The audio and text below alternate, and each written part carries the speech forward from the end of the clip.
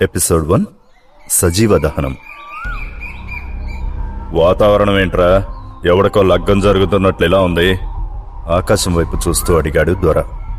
మనం చేసే మడ్రకు భయపడి ముందే మౌనం పాటిస్తుందేమో?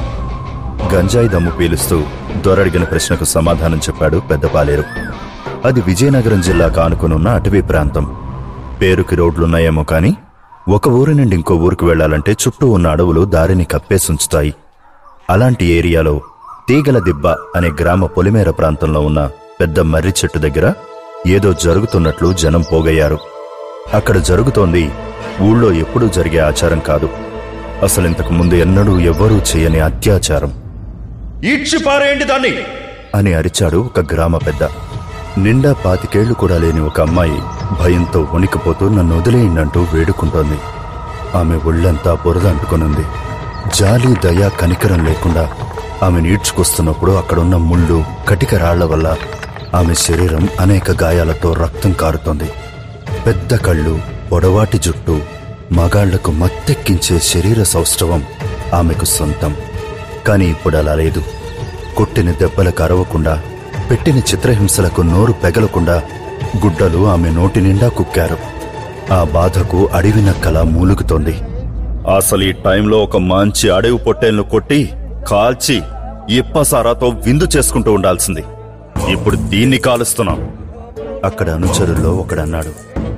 చివరిసారిగా అమ్మాయి ఒళ్ళంతా తడిమేస్తూ చెట్టుకు కట్టి కాల్చేయండిరా దీన్ని! అన్నాడు మరొక గ్రామ పెద్ద.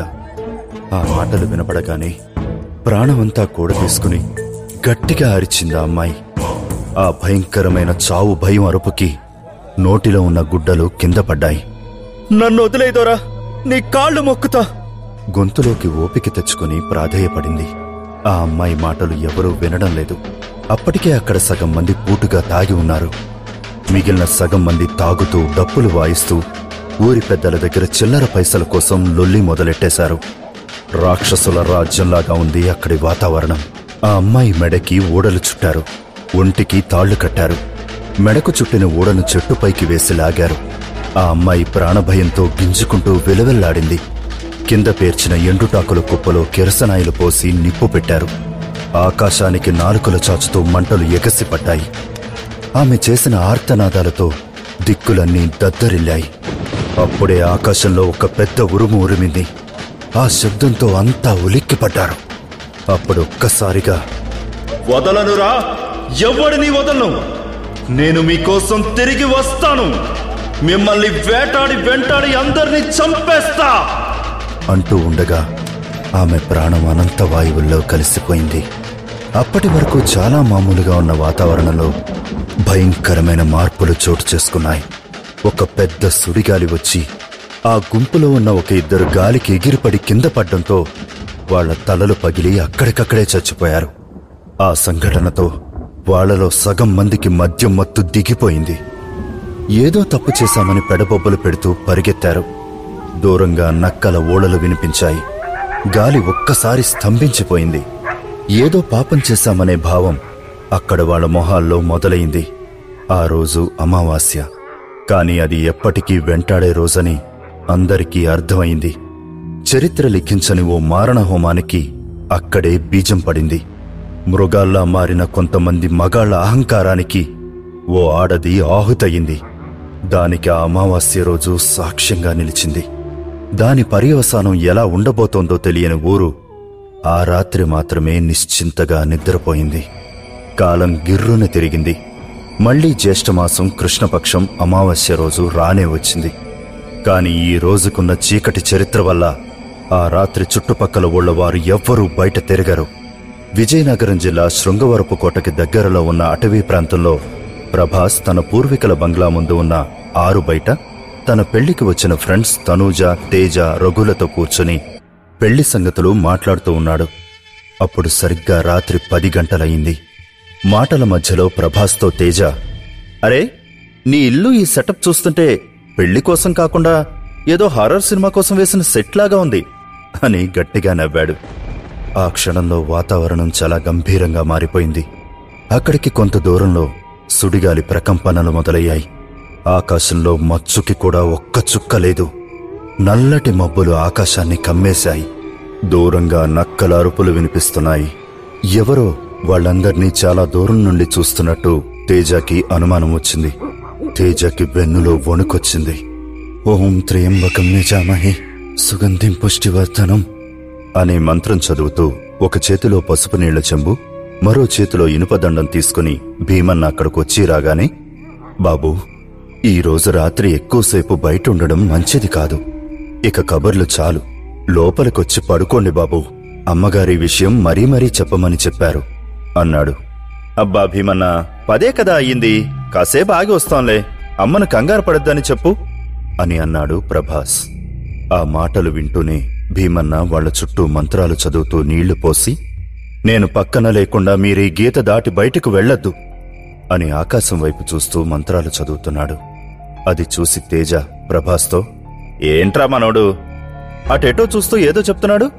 అని అంటుంటే ప్రభాస్ నవ్వుతూ ఏంటి భీమన్న బాబాయ్ ఎవరైనా అప్సరస కనబడుతుందా నీకు? అడిగాడు. అప్సరస కాదురా దెయ్యం. ఈ రాత్రి వచ్చే ఆ దెయ్యం మామూలుది కాదు. అన్నాడు భీమన్న. ఓహో మీరు కూడా అందరిలాగే మాట్లాడుతున్నారే? దెయ్యం లేదు భూతం లేదు. అదేమీ ఉండదు నవ్వుతూ అన్నాడు ప్రభాస్. నిజమే పద్దెనిమిదేళ్ళ క్రితం ఇదే రోజు ఆ అమ్మాయిని కాల్చి చంపి ఉండకపోతే ఇప్పుడు ఆ దెయ్యం కూడా ఉండేది కాదు అని అన్నాడు భీమన్న. అది విన్న రఘు ఒక్కసారిగా టెన్షన్ పడుతూ అవును బాబాయ్ నేను కూడా విన్నాను కానీ అదంతా కట్టు కదా అనుకున్నాను అని అన్నాడు. ఇంకా అలాగే ఆకాశం వంక చూస్తూ కట్టుకథ కాదు బాబు పచ్చి నిజం. ఒక్కసారి చుట్టూ ఉన్న వాతావరణాన్ని చూడు. నిజంగా ఈ రాత్రి తనదే అన్నట్లుంది అన్నాడు భీమన్న. అయితే ఆ అమ్మాయి కథ మాకు చెప్పు బాబాయ్ సరదాగా ఉంటుంది. బాగా ఇంట్రెస్ట్ ఉన్నవాళ్ళే అడిగాడు తేజ. దెయ్యం మన ముందుకు రానంత వరకు సరదాగానే ఉంటుంది. కానీ కథల్లో చెప్పుకునే దెయ్యం కళ్ళ ముందుకొస్తే చాలా భయంకరంగా ఉంటుంది. ఇప్పుడు దాని కథ మీకు చెప్పానంటే దెయ్యం తప్పకుండా ఇక్కడికొస్తుంది. అప్పుడు మన గురించి మిగిలిన వాళ్ళు కథలు కథలుగా చెప్పుకుంటారు. అంతా లోపలికి వెళ్ళి పడుకుందాం. పదండి. కొంచెం సీరియస్గా అన్నాడు భీమన్న. ఈ సోదంతా ప్రతి వాళ్ళు చెప్పేదే కాని ఆ అమ్మాయి ఎవరు ఏం చేసింది ఎందుకు తన్ను కాల్ చేశారు? కాల్ చేశాక ఎవరికైనా కనబడిందా? ఎవరిదాకానో ఎందుకు? నువ్వు చూసావా అసలు? భీమన్నను రెట్టిస్తూ అడిగాడు రఘు. ఆ మాటలు వింటుంటే జరిగింది గుర్తొచ్చి ఒక్కసారిగా భీమన్నకి చెమటలు పట్టాయి. చేతులు వణకసాగాయి. తడబడుతున్న గొంతుతో చూడు బాబు పద్దెనిమిదేళ్ళ క్రితం తీగల దిబ్బ ఎర్రగోపురం బలికోట సర్పంచ్లు వాళ్ళ మనుషులతో కలిసి ఎర్రచీర కట్టుకున్న ఒక అమ్మాయిని అడవిలో చెట్టుకు కట్టేసి తగలబెట్టేశారు. చనిపోతూ ఆ అమ్మాయి అరిచిన అరుపులు మాత్రం ఎవరూ మర్చిపోలేరు. ఇప్పటికీ ఊళ్ళో వాళ్ళకు ఆ అరుపులు వినిపిస్తూనే ఉంటాయి అని చెప్పాడు. అంటే హత్య జరిగిన రోజు మీరు అక్కడే ఉన్నారా? మళ్ళీ అడిగాడు రఘు.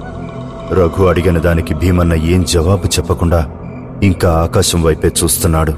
అప్పుడు తనూజ రఘుతో ఇదేదో మంచి హర్రర్ స్టోరీలా ఉంది. నేను వెళ్ళి వాటర్ బాటిల్ తెచ్చుకుంటాను. ఆ తర్వాత కథ చెప్పమని అడుగుదాం. అంటూ లోపలికి వెళ్ళింది. మీకు గుర్తుందా ప్రభాస్ బాబు? తీగల దిబ్బలో జగన్ అని ఒక అతను ఉండేవాడు. రాత్రిపూట పొలాలకు కాపలాగా వెళ్ళేవాడు. కాని ఒక అమావాస్య రోజు రాత్రి అలాగే వెళ్ళాడు. పొద్దున్నే పొలం గట్టు దగ్గర అతని శవం కాలిపోయి కనిపించింది. అతని పొలం మొత్తం కూడా తగులబడిపోయింది. చెప్పాడు భీమన్న ఇదంతా అమ్మాయి చనిపోయిన సరిగ్గా నెల తర్వాత జరిగింది. ఆ రోజు కూడా అమావాస్య. ఇదంతా చనిపోయిన అమ్మాయి చేసిందని ఇప్పటికీ చెప్పుకుంటారు. అలా వాళ్ళ వైపు గంభీరంగా చూస్తూ చెప్పాడు. నన్ను కాపాడండి! అని హఠాత్తుగా వినిపించిన ఆడగొంతు విని ప్రభాస్ రఘు ఉలిక్కిపడ్డారు. తేజ అయితే ఒక్కసారిగా షాక్ అయి అలాగే ఉండిపోయాడు. భీమన్న ఖాళీగా ఉన్న తనుజ కుర్చీ వైపు చూసి నేను చెప్పాను కదా నేను పక్కన లేకుండా ఎవరూ బయటికి వెళ్ళొద్దని? అన్నాడు. అందరూ ఆ గొంతు వినబడిన వైపు పరిగెత్తారు. అక్కడ ఇంటి తలుపు దగ్గర తనూజ కింద కూలబడి ఉంది. తన చుట్టూ నీళ్ళు దొర్లిపోయి ఉన్నాయి. భయంతో ఆమె కాళ్ళు చేతులు వణుకుతున్నాయి. ఏమైంది? ఎందుకలా అరిచావు? అని ఒకవైపు ప్రభాస్ అడుగుతుంటే ఆమె చుట్టూ మంత్రించిన నీళ్ళు చల్లాడు భీమన్న. నేను నీళ్ళు తాగుతూ మెట్లు దిగుతూ వస్తూ ఉంటే గట్టిగా ఎవరు తోసినట్లు అనిపించింది. వణికిపోతూ చెప్పింది తనూజ. అవునా? ఇంకా వినుమరి దెయ్యాల కథలు? అని ప్రభాస్ గట్టిగా నవ్వాడు. అప్పటికే ఏం జరిగిందా అని ఇంట్లో ఉన్న వాళ్ళందరూ అక్కడికొచ్చారు. ఇంకా కబుర్లు చాలు. అంతా పడుకోండి. భీమన్న మీరు ఆ గార్డెన్లో ఉన్న సామాన్లు ఇంట్లో పెట్టండి. ప్రభాస్ వాళ్ళ అమ్మ అందరికీ గట్టిగా చెప్పింది. రాత్రి పన్నెండయ్యింది. అందరూ ఎవరి గదుల్లో వాళ్ళు పడుకున్నారు. కాని ప్రభాస్కి సరిగ్గా నిద్ర పట్టక అటూ ఇటూ కదులుతున్నాడు. ఎందుకో ఒక్కసారిగా ఒళ్ళంతా చెమటలు పట్టేశాయి. తనకొక్కసారిగా శోభనం గదిలో ఉన్నట్లు అనిపించింది గదంతా మంచిగా డెకరేట్ చేశారు.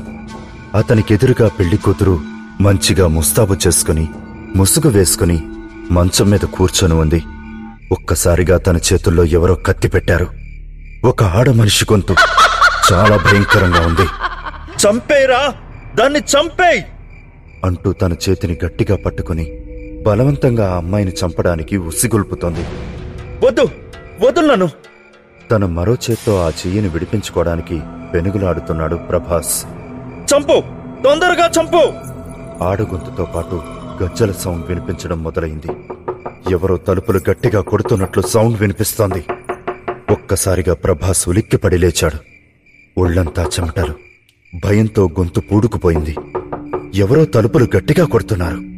ఛీ దీని అమ్మ ఈ దెయ్యం కథలు వినడం ఏమో గాని అనుకుంటూ తలుపు దగ్గరికి వెళ్తూ గడియారం చూశాడు. రాత్రి ఒంటి గంట. బయట వాతావరణం ఇంకా గంభీరంగా ఉంది. గుడ్లగోపల అరుపులు వినబడుతున్నాయి. ఆకులు కదిలితే వాటి అలికిడి వినబడేంత నిశ్శబ్దంగా ఉంది. గాలి కూడా ఏదో చెప్పడానికి ప్రయత్నం చేస్తోంది.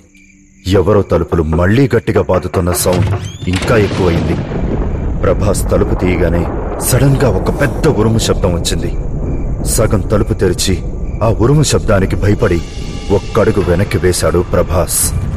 ఎదురుగా నిల్చొని ఉన్న మనిషిని చూసి ఒక్క క్షణం షాక్ అయ్యాడు. తేనె రంగు కళ్ళు తెల్లటి ఒళ్ళు సగం కనిపిస్తున్న అందాలు వీరబోసిన జుట్టు. మొత్తానికి నాగుపాము పడగ విప్పి నిలబడితే ఎలా ఉంటుందో అలా ఉంది ఆ అమ్మాయి.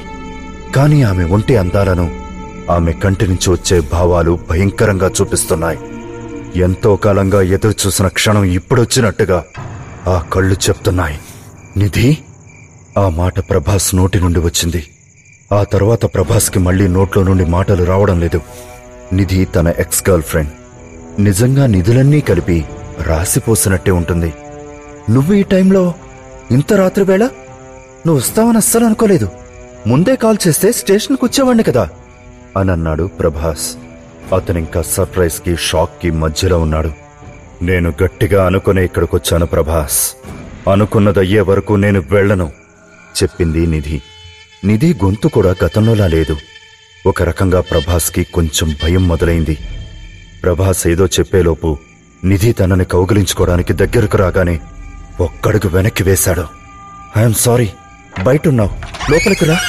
తలుపు పూర్తిగా తీశాడు. నువ్వు రమ్మనకపోయినా వచ్చాను. నువ్వు వెళ్ళమన్నా ఇక నేను వెళ్ళను అని చెప్పింది లోపలికొస్తూ.